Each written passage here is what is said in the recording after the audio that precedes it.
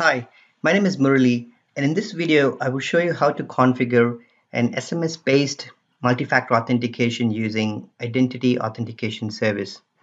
Now within the Identity Authentication Service you would need to navigate to the tenant settings and make some configurations related to SAP Authentication 365. So this is a separate service that for which you would need subscription and this is the service that would send SMS codes and, and validate those codes from, from you.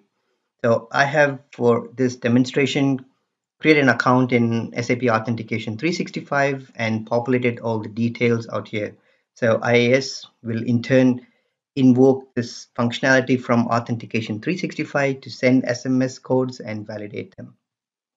Once this is done, you would need to identify the application which needs to participate in this form of authentication. So I have already configured an SAP Cloud Platform account and exchanged the trust between SAP Cloud Platform and IAS.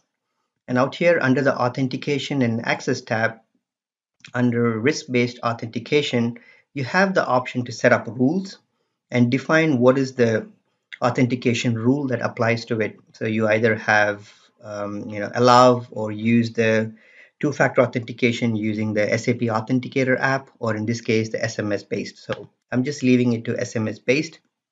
And what I'm going to show is I'm um, going to open up the screen with the Fiori Launchpad that I have configured for this particular demo. Now, when I try to access this Launchpad, the first form of authentication is the IAS. So I'm going to provide my IAS user account details. And when I log in, it should give me my SMS code, which is 5063.